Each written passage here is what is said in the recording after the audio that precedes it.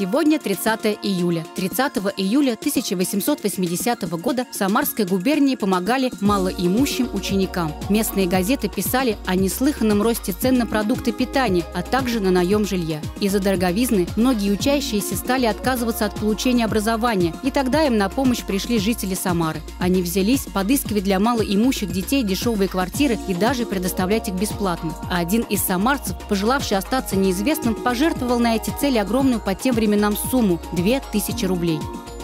30 июля 1891 года члены продовольственной комиссии Самарской городской думы обсудили с представителями управы вопрос о мерах борьбы со спекулятивным возвышением цен на хлебные продукты. В итоге стороны пришли к выводу, что самой действенной будет покупка хлеба городом и дальнейший отпуск его нуждающимся по своей цене. Было решено установить следующие расценки. Муки не более одного пуда, а печеного хлеба не более 10 фунтов в одни руки.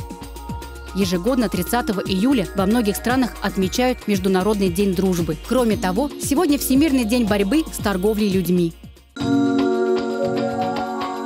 30 июля в разные годы были рождены английская писательница и поэтесса Эмили Бронте, выдающийся российский тренер по художественной гимнастике, педагог, профессор Ирина Винер-Усманова, британская певица, композитор и музыкант Кейт Буш и другие знаменитости.